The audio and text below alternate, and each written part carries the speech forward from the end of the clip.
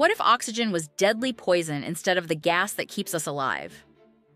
Picture this a jogger steps outside, takes one deep breath of fresh air, and immediately collapses from oxygen poisoning. Every forest on Earth would become a death trap, slowly killing itself as trees produce their own toxic waste through photosynthesis.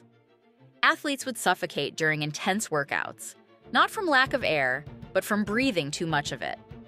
Scuba divers would need to avoid oxygen tanks at all costs, carrying poison instead of life support. Hospitals would accidentally kill patients by pumping toxic oxygen into their lungs.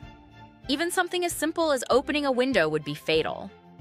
Plants would wither and die from their own oxygen production, turning green landscapes into barren wastelands. The very atmosphere that surrounds our planet would become completely uninhabitable. Every breath would be a step closer to death. The element that created all life on Earth would instead guarantee instant extinction for everything living